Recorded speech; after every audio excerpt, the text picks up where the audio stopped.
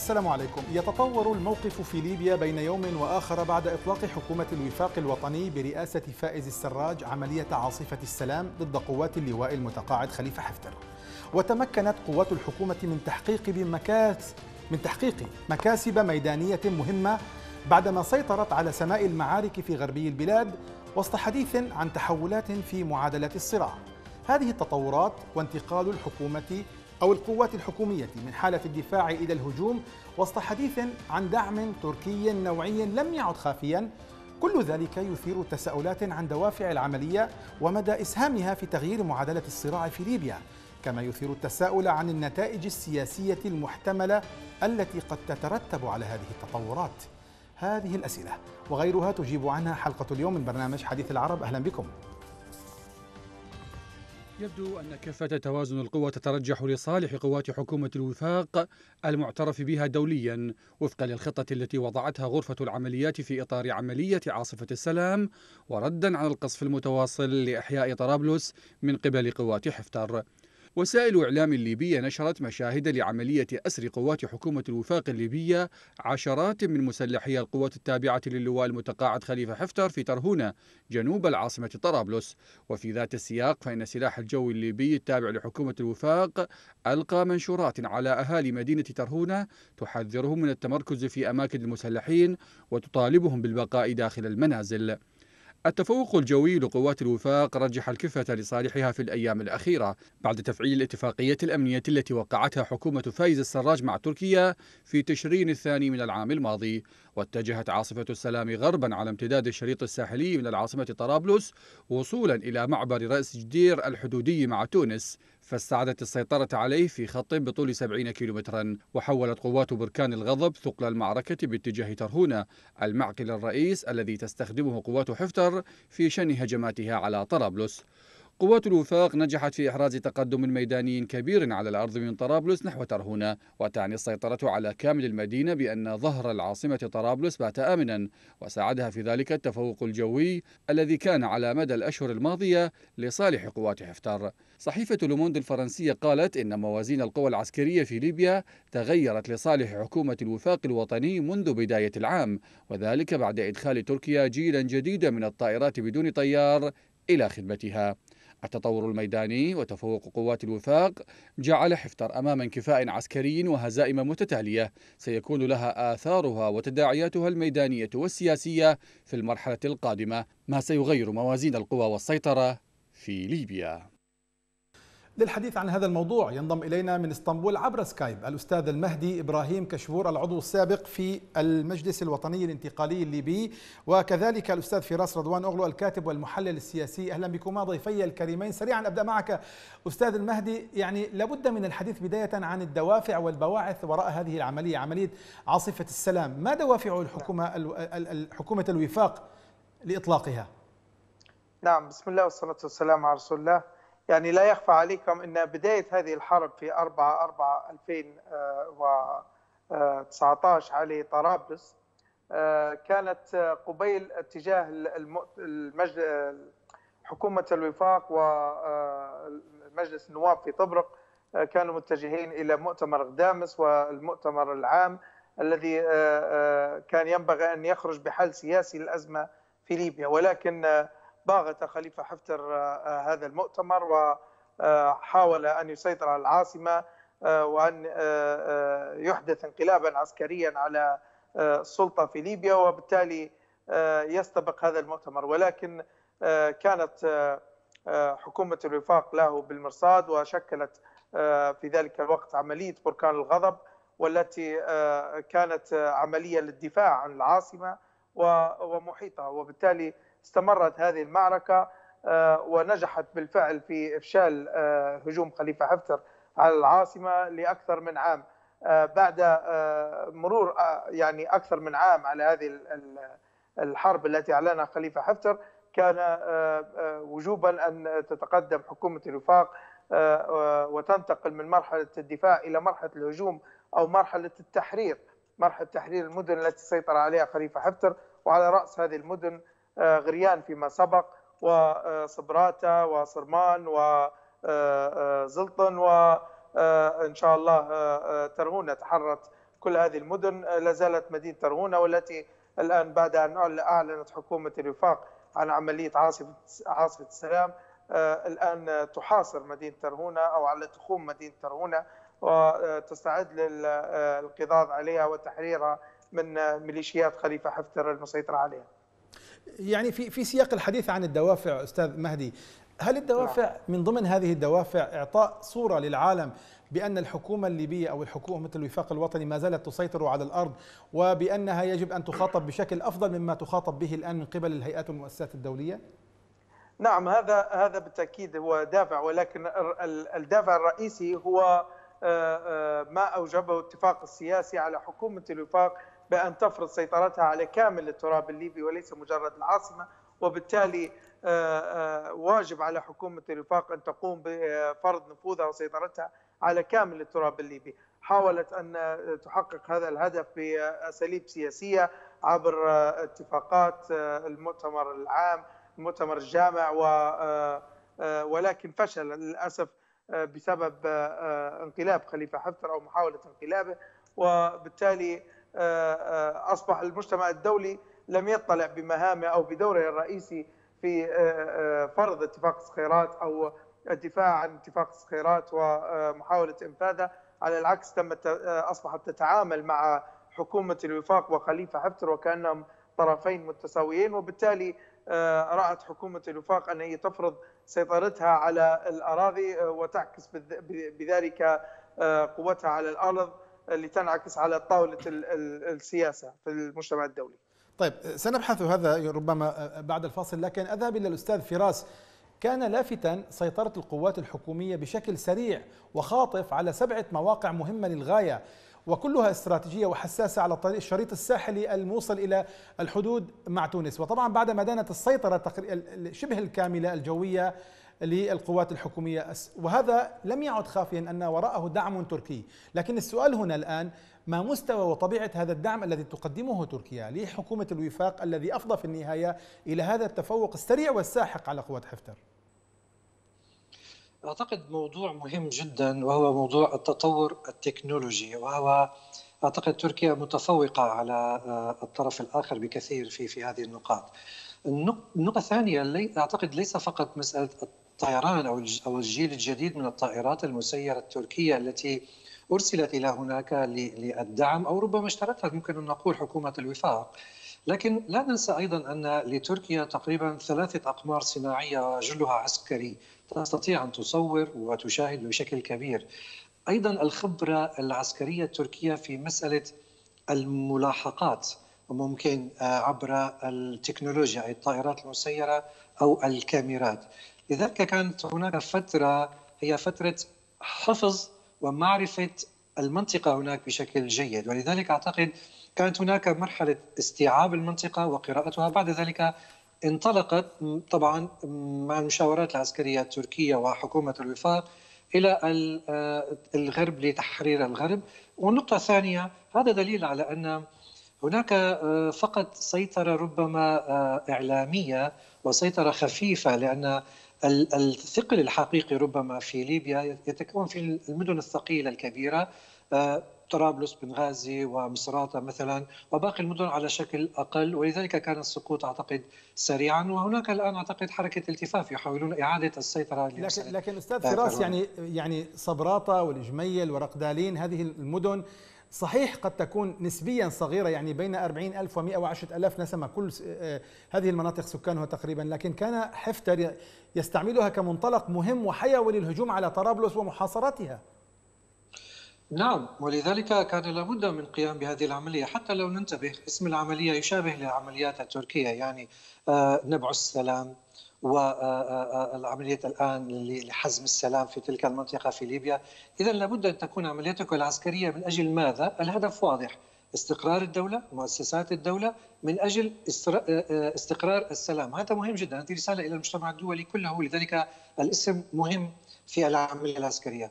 التفوق الطيران لأن كانت حكومة الوفاق لديها نقطتي ضعف واضحة وقال الرئيس أردوغان بصراحة آه، الدفاعات الجوية غير موجودة. والسيطرة على الأجواء الطيران وهاتان تحديدا هاتان الصفتين تركيا دعمت بشكل كبير لأن نعلم أن دولة مصر ودول أخرى وأيضا اليونان ربما بشكل أو بآخر آه، كان لديهم وفرنسا موجودة أيضا مع القوات العسكرية كان لديهم دعم. إذا لابد أن يكون دعمك آه، قوي. أيضا أنت قانوني ليس كالطرف الآخر. الطرف الآخر حتى الآن لا يستطيع أن يقول شيئا خارج عن القانون الدولي لأن هذه حكومة قانونية معترف عليها دوليا. حتى الرئيس الفرنسي نفسه يقول الحكومة الشرعية رغم كل هذه الأمور رغم أنه يدعم حفتر إذا هذه النقاط مهمة جدا استفادت منها تركيا وحكومة الوفاق ولذلك الآن كل هذا يسمى إعادة نفوذ الدولة إلى إلى حجمها الطبيعي. ولا بد من إرجاع حفتر حتى إلى ما قبل السرت أعتقد. وإلا ستبقى الأمور تحت التهديد. أي طرابلس طيب, طيب أستاذ مهدي يعني هذه العملية أمر فائز السراج بإطلاقها في وقت كان هو أكبر الداعين إلى وقف إطلاق النار في ليبيا. ما الانطباع الذي سيقدمه فائز السراج إلى المجتمع الدولي وإلى المنظمة الأممية التي وقفت وراء الحكومة الوطنية على الأقل في التصريحات؟ يعني ما الصورة التي ستصلهم من خلال فيما يتعلق بصدقية قراره وبصدقية تصريحاته؟ سيدي الكريم المجتمع الدولي يعلم أن آه، إذا ما أردت السلام فعليك استعداد للحرب. هذا ما حدث. يعني استعدت حكومة الوفاق للحرب وكانت تدعو إلى السلام وتدعو إلى وقف إطلاق النار ولكن هذا لم يحدث. آه، القصف استمر ولا زال يستمر على الأحياء المدنية وعلى المؤسسات المدنية على المستشفيات وعلى حتى أخيرا مستشفى الخضراء الذي خصص لعلاج مرضى كورونا. آه، آه، كل هذه الاعتداءات لم آه، يعني تؤثر في المجتمع الدولي. يعني كان في أحسن الأحوال أن تصدر تدوير تدوينه هنا أو هناك أو تغريدة على تويتر لحساب البعثه في ليبيا لا أكثر. وبالتالي هذا لن يحمي المدنيين فكان واجب على حكومة الوفاق أن تقوم بهذا الدور بنفسها وأن يعني توقف أو تفرض وقف إطلاق النار فرضا باستعمال السلاح على خليفة حفتر بحيث يتم ارجاعها إلى آه، مناطق بعيدة عن المدنيين وألا يتم استهداف المدنيين. وهذا ما حدث بالفعل. تم إخراج قوات خليفة حفتر من أكثر من مدينة من كامل الشريط الساحلي من طرابلس حتى تونس وبالتالي آه، أصبح آه، أهالي هذه المدن بالكامل آمنين في صبراته في صرمان في زلطن في جميل في في العديد من المناطق. آه، آه، وأيضا في محيط العاصمة آه، تراجعت هذه القوات. لازال إلى اليوم يستهدف المطار بقذائف الهاون والجراد وأيضا المناطق السكنية المحيطة به ومنطقة حي دمشق وما إلى ذلك من المناطق المدنية المكتظة بالسكان والتي كل قذيفة تسقط اثنين أو ثلاثة من المدنيين. وبالتالي آه، آه، كان لزاما أن تقوم حكومة الوفاق بفرض وقف إطلاق النار على خليفة حفتر باستعمال القوة آه، بحيث يتم إرجاعها إلى مناطق بعيدة عن السكان أو إلى الصحراء أو إلى القواعد العسكريه يعني افهم افهم في أستاذ, مهدي جفره أو في أفهم من كلامك أن هناك رأي ينضج داخل القيادة قيادة حكومة الوفاق بأنه يعني لا يمكن انتزاع المكاسب وتحقيق الأهداف السياسية إلا بالقوة؟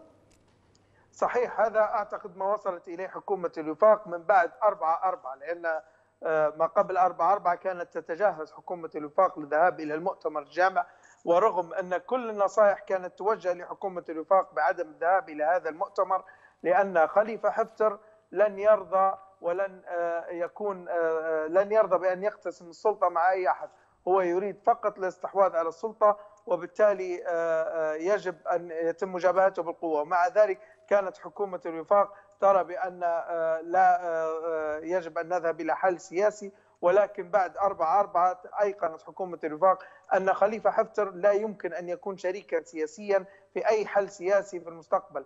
وحتى عندما تحدثت عن حلول سياسية كانت دائما تطرح أن, أن لا يكون خليفة حفتر طرفا فيها.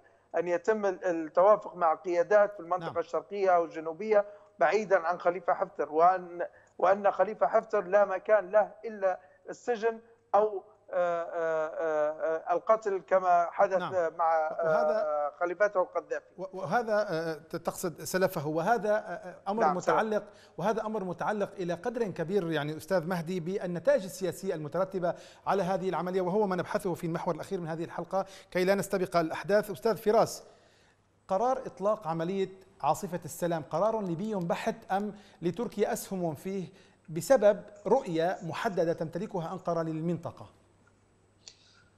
أنا سأتكلم عن الأخطاء الخطيرة لحفتر في هذه العملية. برأيي النقطة الأولى قبل قبل الحديث عن الأخطاء فقط يعني حتى هذا السؤال يترتب عليه أشياء أخرى بعد ذلك يعني. هل لتركيا أسهم في اتخاذ هذا القرار؟ أنا كنت سأربط هذا بتلك. نعم آه، الأخطاء هي كانت سبب باتخاذ القرار الثنائي لكن القرار الأكثر لا هو أعتقد هو قرار ليبي لماذا؟ لأن ضمن الأخطاء التي قام بها أولا سيطرته على النفط ومنعه بيع النفط هذا واحد. اثنان سيطرته حتى على الماء. وقد منع آه، تقريبا عن أكثر من 240 ألف شخص الماء في في في غرب ليبيا. وهذه قضية خطيرة جدا. لابد من إطلاق عملية عسكرية إضافة إلى أن عدد النازحين منذ قيام المشير حفتر في هذه العملية أكثر من 170 ألف من اصل 350 ألف مهجر خلال الحروب في داخل ليبيا. اذا هو يمتلك أكثر من نصف عدد المهجرين. اذا هو يستخدم أربعة أوراق وهي الأخطاء التي آه، حصل يعني أراها أخطاء هي النفط والماء واللاجئين وآخرها وهو الموضع التركي بأن قطع كل المصالح التركية في ليبيا. وهذا يعني حربا على ليبيا. اذا لن تسمح ليبيا آه، عفوا حربا على تركيا. وهذا لن تسمح به تركيا بقطع مصالحها. ولذلك حصل الاتفاق ما بين الطرفين أي الوفاق الاتفاقي المذكرتين تفاهم المعروفتين.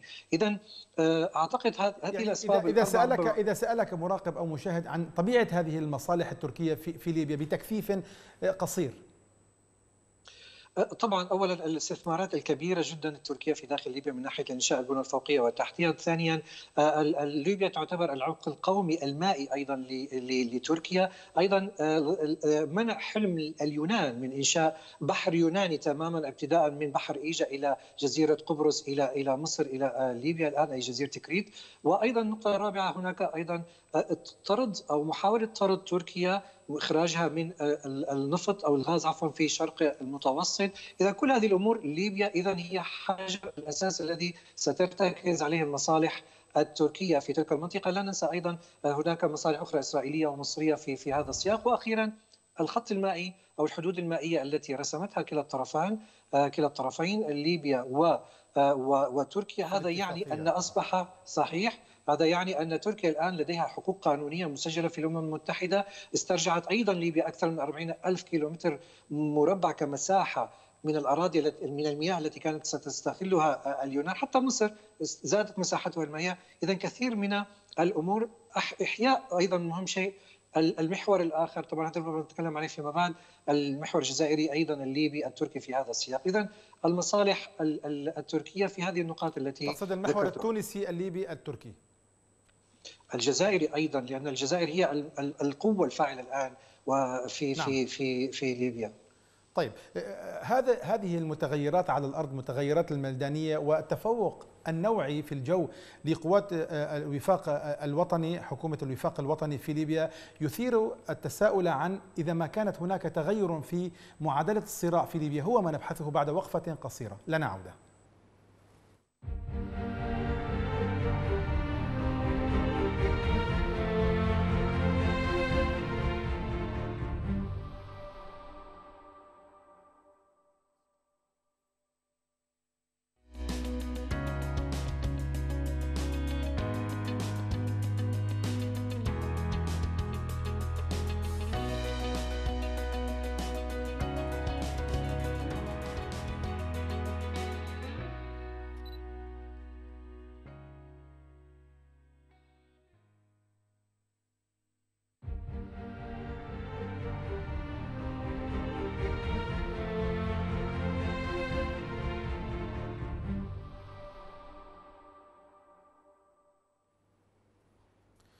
أسعدكم الله مشاهدينا الكرام وهذه عودة للحديث عن متغيرات الصراع في آه، ليبيا. آه، أذهب إلى الأستاذ مهدي.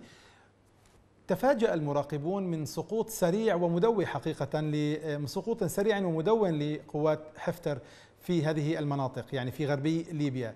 يعني كما لو أنه استغنى عن مخالبه التي كان يقاتل بها طرابلس في تلك المنطقة باستثناء احتفاظه حتى الآن بالترهونة استغنى عن هذه المخالب بنفسه. هل ثمة لديك تفسير لهذا التهاوي لميليشيات أو قوات حفتر؟ وماذا عن موقف داعميه الدوليين والإقليميين؟ نعم. آه، هو سيدي الكريم يعني آه، آه، سقوط خليفة حفتر أو انهيار قواته في هذه المناطق كان له العديد من العوامل وليس عامل وحيد. أهم هذه العوامل هو فقدان خليفة حفتر لمصداقيته أمام حلفاء المحليين. نتحدث عن أن قوات خليفة حفتر ليست جيش حقيقي ينتقل من منطقة إلى منطقة. هو يحاول في كل منطقة أن يخلق مجموعات مسلحة ميليشيات يجمعها في هذه المنطقة وبالتالي يرتكب بها مجموعة من الجرائم ترهب أبناء تلك المنطقة بحيث يفرض عليها سيطرة. مع الوقت أصبحت هناك تململ كبير من هذه المناطق من قوات خليفة حفتر وأصبحت تنتظر لحظة الافتكاك من خليفة حفتر هذا أهم عامل. العامل الثاني هو انشغال العالم أو أو حلفاء خليفة حفتر الذين السياسيين والعسكريين أيضا الذين كانوا يدعمون عسكريا أو السياسيين الذين كانوا يغطوا على جرائم خليفة حفتر انشغالهم بجائحة كورونا وأيضا بالأزمة الاقتصادية. نحن نتحدث عن عن الحرب. هذه الحرب تحتاج إلى ملايين أو مليارات لدعمها. الداعمين لخليفة حفتر وعلى رأسهم الإمارات والسعودية اليوم يعانوا من أزمات اقتصادية بسبب أزمة البترول وأيضا جائحة كورونا. وبالتالي انخفض الدعم بشكل كبير. مصر لا تستطيع استمرار في دعم خليفة حفتر طالما لا يوجد دعم مالي من الإمارات والسعودية. وبالتالي حدث هذا التراجع. أيضا ظهور تركيا في المعادلة ودخولها على الخط بشكل قوي. سبب في إحداث نوع من التوازن مع القوى الدولية، نحن نعلم جيدا أن خليفة حفتر لا يستطيع الصمود يوما واحدا من غير حلفاء الدوليين، وبعد دخول تركيا حدث نوع من التوازن. وبعد ظهور جائحة كورونا والأزمة النفطية حدث هناك غلبه للدعم التركي لحكومة الوفاق على حساب الدعم الإماراتي والسعودي والمصري لخليفة حفتر. وبالتالي انهارت هذه القوات والتي في غالبها أو يعني عمودها الرئيسي هي عصابات مرتزقة مثل مرتزقة الفاغنر و العصابات الشادية. وبالتالي عدم وجود السيولة المادية لدى خليفة حفتر ليدفع لهذه القوات جعلتها يعني تقاتل بالآجل وهذا النوع من القتال وهناك لا يعطي وهناك للمقاتل يعني الاستمرار أو التقدم يعني نعم. يعني تعقيبا على ما ذكرته أستاذ مهدي هناك تقارير تحدثت عن أن القوات التشادية أو المقاتلين التشاديين رفضوا القدوم إلى مناطق القتال إذا لم يؤمنوا من الجو وهنا دعني أتحول ما دمت ذكرت صحيح. تحدثت عن جائحة كورونا أسأل الاستاذ فراس يعني الرئيس التركي رجب طيب أردوغان يتحدث دائما عن أن العالم ما بعد كورونا لن يكون عما قبله ويتحدث عن التفوق التركي في مواجهة هذه الجائحة. السؤال هو ما دلالة التوقيت في الهجوم في ليبيا ربطا بالمصالح التركية وربطا ببحث تركيا عن موقع متقدم لها في مرحلة ما بعد كورونا؟ يعني أعتقد أن الطرفين قرأ المشهد كالتالي أن فرصة كورونا الآن هي سببت نوع من أنواع الالتهاء وبدأت الدول ربما تلتهي في مسألة أو تنشغل بشكل كبير في هذه المسألة. مسألة فلذلك كان الطرف الأول يريد الدخول وأيضا الطرف الثاني أي حكومة الشرعية الوفاقية أيضا تريد تطهير المنطقة أو ردا على المخططات التي قامت بها قوات حفتر. هذا مهم أعتقد في هذا التوقيت لكن أيضا هناك نقطتين آخرين. ليس فقط جائحة كورونا بل أيضا أن ربما آه، الوضع الآن أصبح يعني آه، مفيد لأن اسعار النفط الآن أيضا يعني بدأت تتهاوى منذ ذلك الوقت تقريبا منذ فترة والآن أصبحت سيئة جدا. اذا هناك بعض المشاغل العسكرية. أعتقد هذا التوقيت الآن يعني ممكن أن نقول أنه كان مناسب للطرفين لكن قراءة من أنجح كانت هنا لعبت دور ربما التكنولوجيا الطائرات في تركيا. لكن أنا أريد أن أشير إلى نقطة مهمة. كل هذه النجاحات هي المكتسبات الزائدة لحفتر وليست المكتسبات الحقيقية. المكتسبات الزائدة هي التي فاجأ بها العالم أي سيطرته على السرد وبعد ذلك تمدده إلى ترهونة ومناطق في الغرب. هذه لم تكن حتى في حسابات أطواق حفتر بل كان من بنغازي إلى ربما نصف الطريق وإلى الجنوب. لكن آه، التقدم في الشمال هذا زائد. لذلك على حكومة الوفاق الآن أن تعيد على الأقل نصف ما كانت تملكه بعد ذلك هل تستطيع أن تعيد الشرق الليبي؟ وإن كانت أستبعد ذلك الآن أمور صعبة لأن هناك دول في شرق ليبيا مثل مصر مثل فرنسا ربما لن تسمح بهذا العود حتى لو دخلت في هذا الحرب. إذا لابد من إعادة مكتسبات التي كانت لديك وهذا مهم جدا في في هذا التوقيت. طيب هنا أريد أن أسأل أستاذ مهدي. بناء على ما تحقق أستاذ مهدي آه، كشبور بناء على ما تحقق في عاصفة السلام حتى الآن هل يمكن القول إن معادلة الصراع في ليبيا الآن تغيرت أم أن هذا من من التفاؤل المفرط؟ يعني وأنت لست من المفرطين؟ نعم آه، لا هي حقيقة تغيرت بالفعل. آه، هناك مؤشرات عديدة على تخلي أو آه، إعادة حسابات للدول الداعمة لخليفة حفتر إعادة حساباتها من جديد. ربما أيقنوا من فشل مشروع خليفة حفتر. بالتأكيد هذه الدول كلها تسعى إلى العاصمة. وبدون العاصمة آه، يعني آه، لن يحصلوا على شيء. ويعلم جيدا أن خليفة حفتر مع الوقت ربما لن يحافظ إلا على المناطق الشرقية. والمناطق الشرقية يعني ليست هي الهدف هذه الدول. نحن نتحدث عن المنطقة الوسطى والغنية بالبترول أو الموانئ والحقول النفطية في المنطقة الوسطى. في المنطقة الشرقية هي منطقة آه، حقيقة فقيرة من البترول وبالتالي لا مصلحة لهذه الدول بها. إذا ما استطاعت قوات حكومة الوفاق من آه، دحر خليفة حفتر في ترهونة عندها سوف تفرض سريعا سيطرتها على كامل المنطقة الوسطى والتي تعتبر في أغلبها مناطق صحراوية. الغلبة فيها ستكون لمن لديه الغلبة في الجو وهي اليوم لحكومة الوفاق. وبالتالي آه، داعمين لخليفة حفتر وعلى رأسهم مصر آه، آه، الجاره الاستراتيجية بالنسبة لليبيا آه، سوف تعيد حساباتها في دعم خليفة حفتر وهناك مؤشرات بالفعل من قبل الحكومة المصرية يعني تفيد بأن ربما نعيد حساباتنا في دعم هل هذا الكلام أستاذ مهدي هل هذا الكلام أخرى أستاذ مهدي هل هذا الكلام منطقي يعني أن تترك مصر التي تنافس تركيا ولا تحتفظ بعلاقات ودية مع تركيا أن تترك حليفة نعم. حفتر نعم.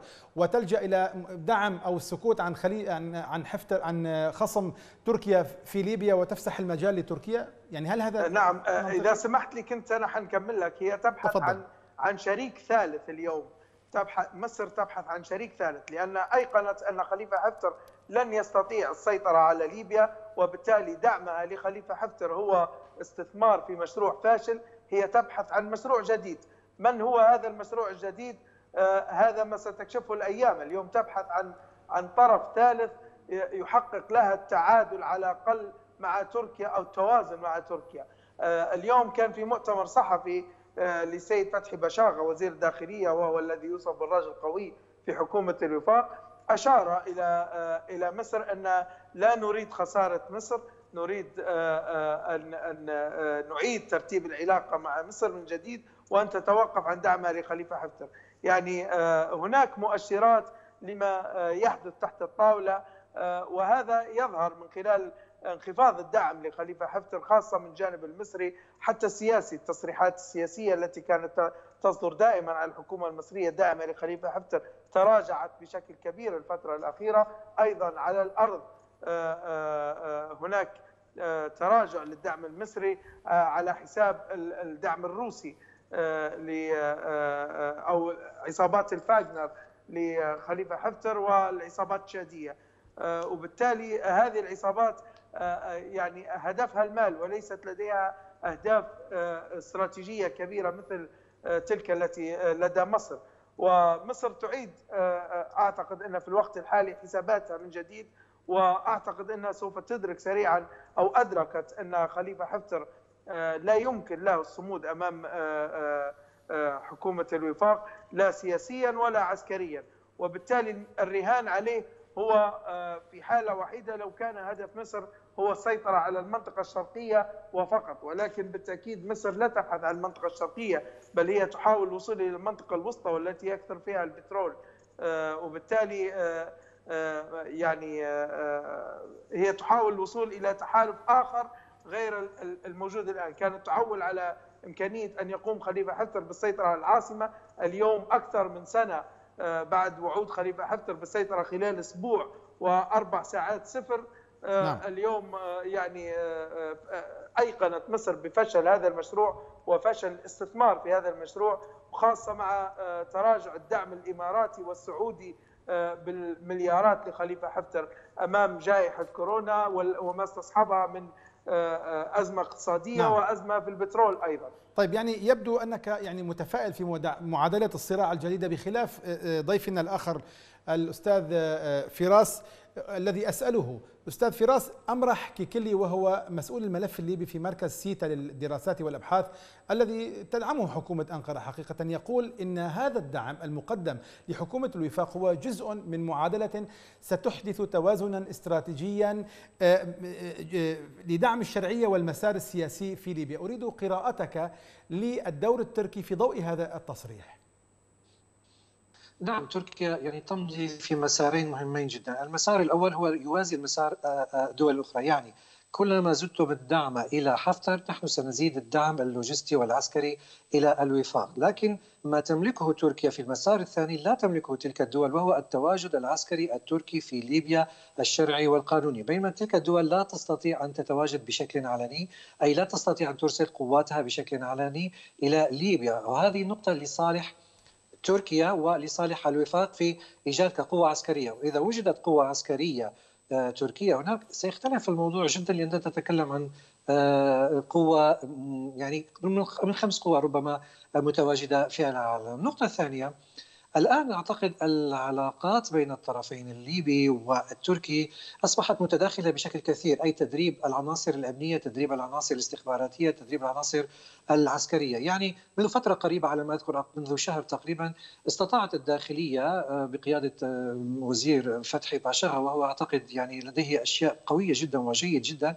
هناك خلية يعني تم إلقاء القبض عليها تعمل ربما لصالح حفتر في إيجاد انقلاب كما يفعل كما تفضل الضيف، يعني يعتمدون على بعض الخلايا النائمة ويعتمدون أيضا على آه، إغراء ربما الأهالي أو دفع بعض الأهالي في تلك المناطق للسيطرة. هذا أن التواجد القوي الأمني أو السيطرة الأمنية الحقيقية القانونية في في طرابلس. أعتقد سهل كثير من قطع وجود الخلايا النائمة، اذا هناك عدة نقاط أعتقد ساعدت في في هذا السياق تستطيع تركيا أي لدى تركيا ولا تستطيع الطرف الثاني. أنا متفائل في إعادة النقاط حتى السرد لكن هل تستطيع ما بعد السرد؟ المعادلة السياسية والإقليمية تصبح أصعب بكثير معقدة. لذلك أنا قلت ربما إذا وصلت قوات الوفاق إلى السرد أو حتى إذا استطاعت أن تأخذ السرد أيضا هذا سيكون انتصار مهم جدا لأن ما بعد السرد الموضوع سيكون صعب جدا يحتاج إلى مفاوضات أعتقد سياسية أكثر منه عسكريه لأن لن تسمح أعتقد مصر التي تحاول وإنها ولكنها هي لو لو استطاعت أن تضم حتى منطقة بنغازي إلى مصر لفعلت لكنها كما فعلت روسيا في القرن مثلا لكنها لا لا تستطيع لأن المجتمع الدولي حتى الآن أقوى من هذا الفعل. اذا لذلك أنا هنا أرى أن الأمور ستصبح أصعب لذلك استعادة هنا مهم جدا حتى الآن بالنسبة للوفاق. نريد الآن أن نتحدث عن آه، التطورات أو الترتيبات السياسية التي يمكن أن تتوقف على هذه العملية ولكن ليس قبل أن نذهب إلى وقفة أخيرة.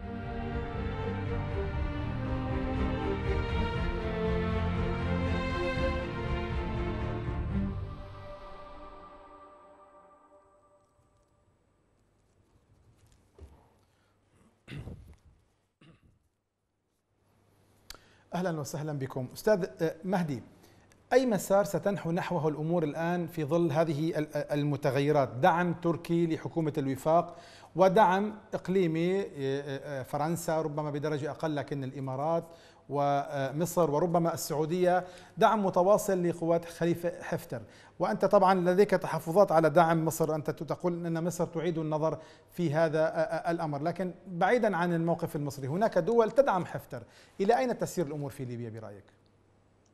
آه، الأمور تعتمد على على حكومة الوفاق. يعني للأسف غالبا الانتصارات التي تحققها قوات آه، بركان الغضب على الأرض لا تنعكس على الصعيد السياسي لدى حكومة الوفاق أو لا تستثمرها حكومة الوفاق سياسيا بشكل جيد.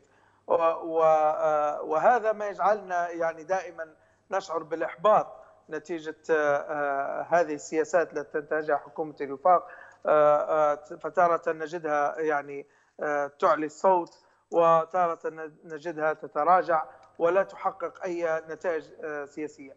هناك الآن يعني مخاض سياسي داخل المنطقة الغربية أو بين مجلس النواب ومجلس الدولة وحتى المجلس الرئاسي والأجسام السيادية الأخرى في الدولة بحيث أن يتم استحداث منصب رئيس حكومة خارج المجلس الرئاسي آه، بحيث آه، آه، أو من خارج أعضاء المجلس الرئاسي.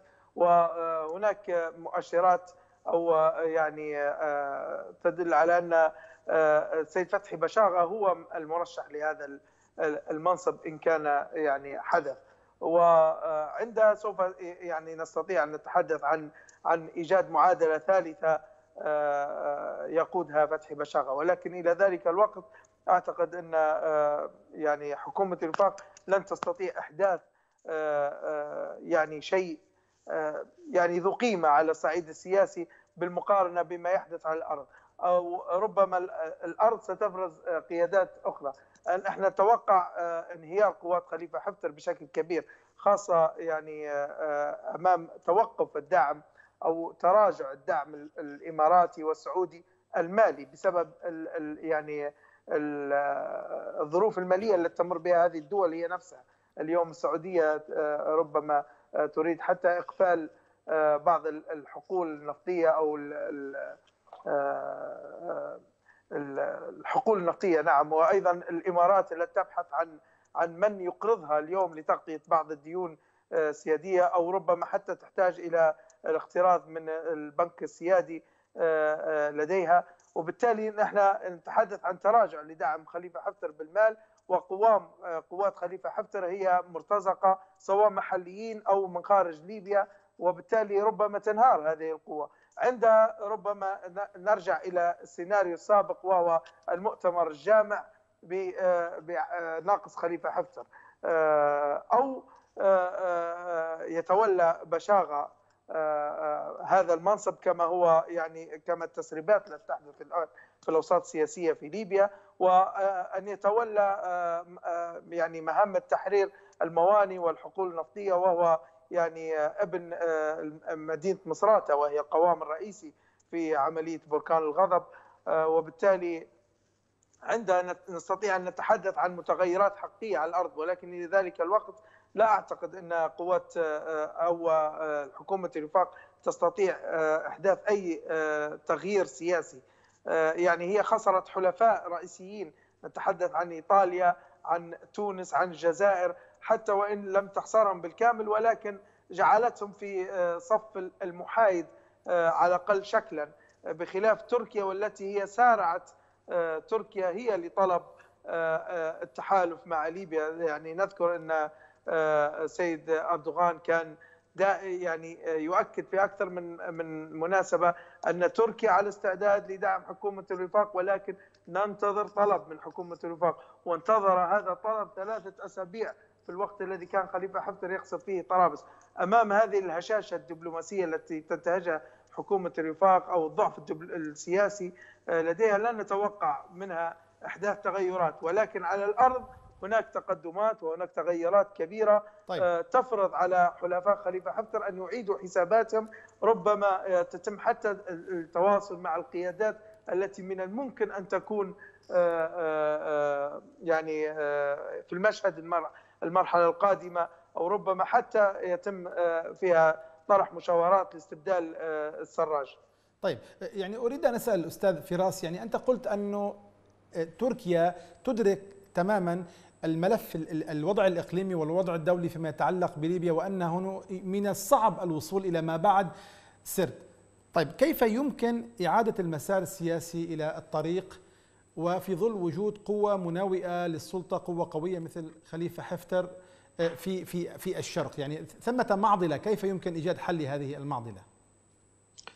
طبعا لابد من أن تكون هناك ثوابت قوية، يعني أن يكون الثابت الأول هو أن هناك حكومة شرعية، وهي آه، حكومة مدنية قائمة بشكل شرعي ومعترف عليه دوليا، لابد أن تكون هي الأساس، بعد ذلك تفاوض من تفاوض، هذا شيء مهم. النقطة الثانية هذه الحكومة يجب أن تكون لديها قوة عسكرية شرعية آه، قادرة على أرض الميدان وفي نفس الوقت تكون قادرة على الطاولة وهذا ما تسعى به الآن تركيا عبر تقوية آه، القوة العسكرية الكبيرة. الأعداد المقاتلين لحكومة الوفاق أكبر بكثير من الموجودين لحفتر ولكن مع ذلك التفوق أحيانا كما آه، قيل الجوي والاستعانة بمعدات متطورة أثر في هذا الصراع.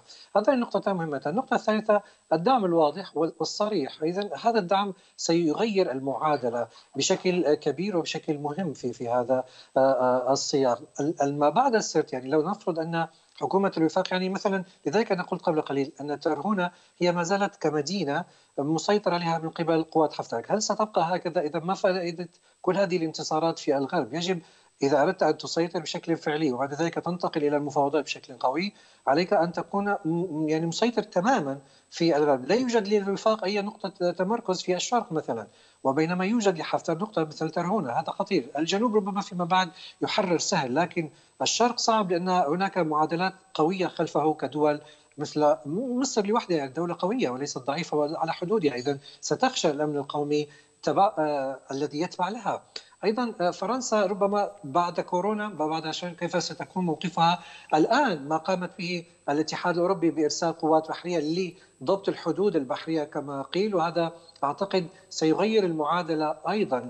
لابد من إدخال الجزائر وأعتقد الجزائر الآن داخلة بقوة لأن إذا بقيت المناطق البرية في الشرق مفتوحة علينا أن نفتح المناطق الغربية مع الجزائر مثلا التي لديها مصلحة أكثر مع الوفاق لأن نعلم التنافس الإقليمي الجزائري المصري، اذا قراءات هذه القراءات آه، آه، آه، مهمة في في كثير من الأمور، هل بعد ذلك إذا بقيت قوية هذه الثوابت لدولة قوية مدنية لديها تعددية سياسية فيما بعد وأيضا أعتقد أن حتى المجتمع في الشرق سينظر إلى هذا الشيء أي أتكلم عن الشرق الليبي، بعد ذلك لابد من الجلوس على الطاوله لأن لا يمكن إنكار أن هناك أيضا ليبيون يوافقون حفتر أو يدعمون حفتر في الشرق، اذا لا يجب ان أن تخسر آه، آه، أيضا هؤلاء ماذا؟ كما حصل في سوريا مثلا إبادة جماعية أو ما شابه ذلك، هذا أعتقد مرفوض، اذا الدولة تقوم مؤسساتها تقوم. بعد ذلك يأتي الوفاق السياسي على أن هناك معارضون لديهم